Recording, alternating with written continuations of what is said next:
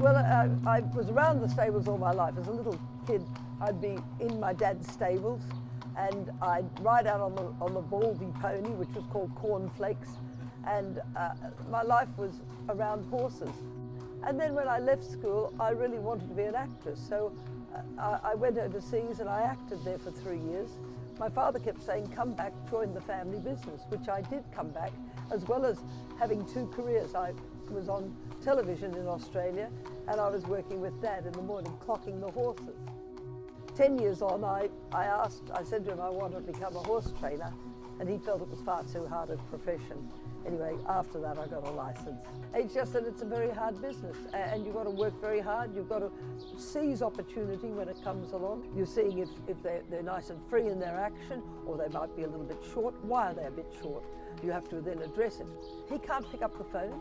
He can't say to you, hey, look, you know, I've got a sore foot. You have to see this. Then the horse comes off the track and, and you know, he, has got cold water on him, so we, we put them under the heater lamps, we dress them under there, we have a high performance, like a treadmill, like you'd see in the gym, just to swap it around and make it a bit interesting and good for them. Well, the Melbourne Cup is a special, special race. And uh, why it's a special race is that it's recognised worldwide. I dreamed of winning it, and I was lucky enough to do that with a wonderful horse called Ferrante. Fiorente won the Melbourne Cup again. And uh, you can't describe it because everyone knows you won the cup. Uh, it, it's really exciting. Any of those big races, the Oaks, you know, the Kennedy Oaks. And Gai Waterhouse takes the Oaks for the first time. Pinot wins from Bring Me Roses.